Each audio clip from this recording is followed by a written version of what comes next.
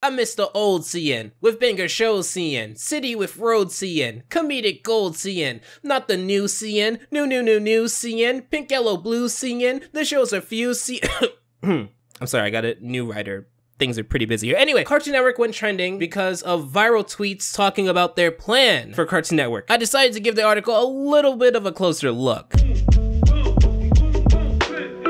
Cartoon Network and Adult Swim president Michael Ouweleen knows that you have questions about the fate of the two networks in the new Belt Titan Warner Bros. Discovery era, and it has changed, but we're not dead, he insists. The fact that he insists that they aren't dead means that the conversations around this had merit. There is no way that you can dump that much of your catalog away, barely have any new shows or episodes this far on the horizon, appear to be in debt because of the merger, and make anyone who recognizes the pattern believe that you guys aren't bleeding. They literally removed Clarence a short while ago, Craig Creek is basically done, and even some of the future projects like Driftwood have been scrapped.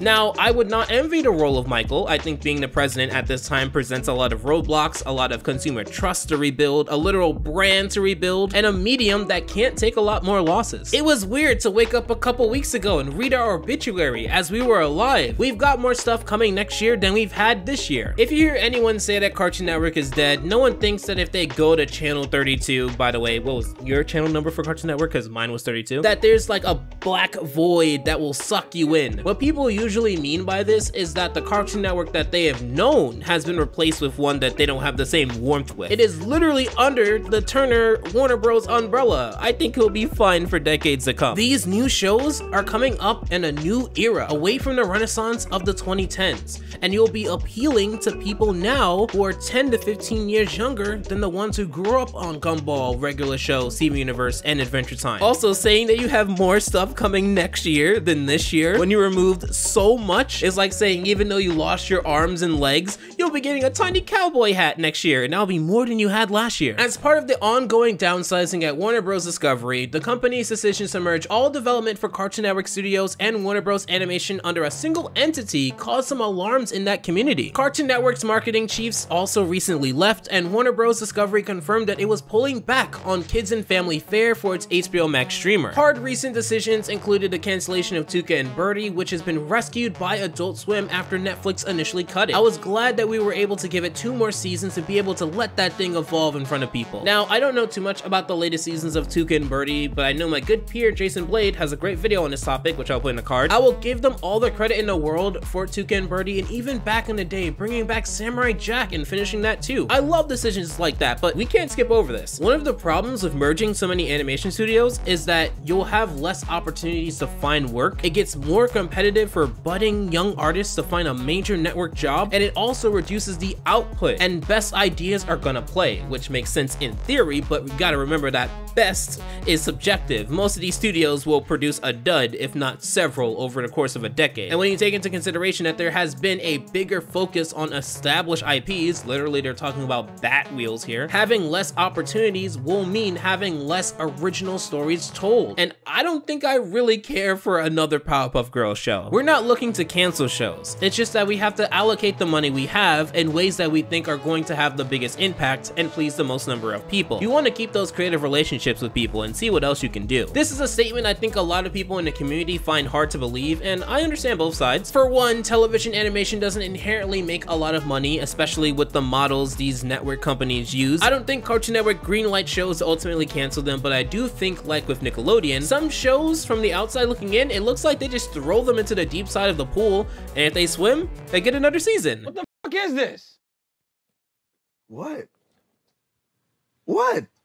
What the fuck is this? This shift at Cartoon Network also comes as HBO Max canceled six upcoming animated series, including Batman Caped Crusader, Merry Little Batman, The Day the Earth Blew Up, a Looney Tunes movie, Bye Bye Bunny, a Looney Tunes musical, Did I Do That to the Holidays, a Steve Urkel story, and The Amazing World of Gumball the movie. With HBO Max getting out of the kids and family business, it's up to Cartoon Network slash Adult Swim to essentially now be a supplier for such content for the streamer. The go forward notion is that Cartoon Network and Adult Swim Will be the main source of animation at Max, and we're gearing up to share with them all the stuff we have in development right now. We talk to those guys every week pretty much, and coordinate and plan our activities together. Firstly, you heard it here folks, the Gumball movie is pretty much guaranteed to not come out, which means that my video on it, where everyone was holding out hope, we can now look back on it and say that it was a bad finale. Taking it off of me though, to see HBO Max leaving the animation side is interesting because it was such a strong push on Max. You know, you had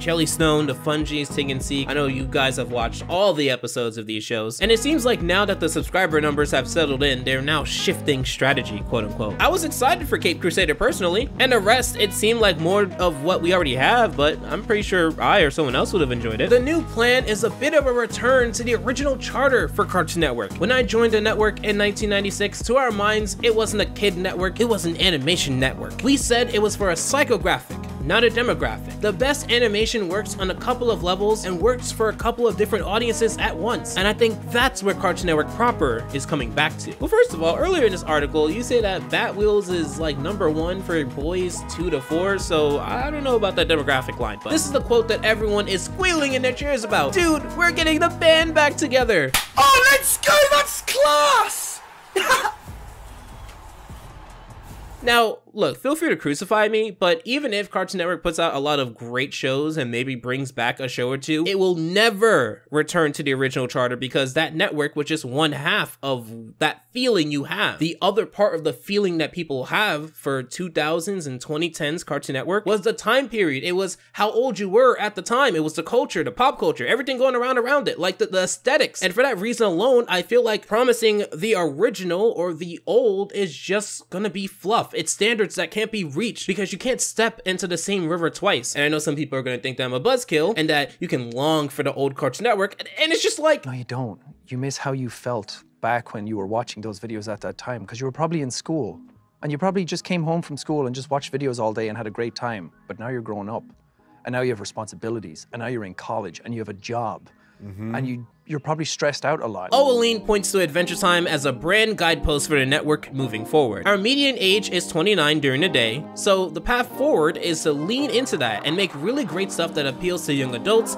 and kids can watch it too. One of the biggest takeaways from this is that the median age is 29 and that we have articles saying this because yes, adults watch animation and not just The Simpsons and Rick and Morty. Adventure Time is a great brand guidepost. However, that's not the original Cartoon Network charter, but I digress. I would even go as far as to say that when working on the CN video, it made me appreciate the 2010s and the years leading up to it just as much as I appreciate the 2000s and the years leading up to it. Sure, I relive my childhood playing Sly Cooper, the original Sims, and going on Neopets, but it will never be my childhood because I went through it already, and thus I will never feel the novelty of doing things like that again. I will never feel the novelty of signing up to Roblox for the first time and playing Crossroads, Sword Fight on the Heights, work at a pizza place, because I already felt it. That's why the 2010s was so amazing. It was unique, and it was unique for the people growing up at that time and also the people who had the experience of watching early 2000 shows. It had its own identity with great shows that wanted to stand on their own, and more importantly, they had the time and the resources to blossom into these amazing stories and experiences that young adults and kids can watch together. Upcoming Cartoon Network has previously greenlit new episodes of the preschool series Bugs Bunny Builders and Sesame Street Mecha Builders, as well as new seasons of Craig of the Creek, We Baby Bears, and Teen Titans Go. There's the premiere of Gremlin Secrets of the Mogwai, Unicorn Warriors Eternal, and My Adventures with Superman. New episodes of Summer Camp Island and Jellystone are on deck, as are the premieres of the heroic quest of Valiant Prince Ivandoe and Iyanu,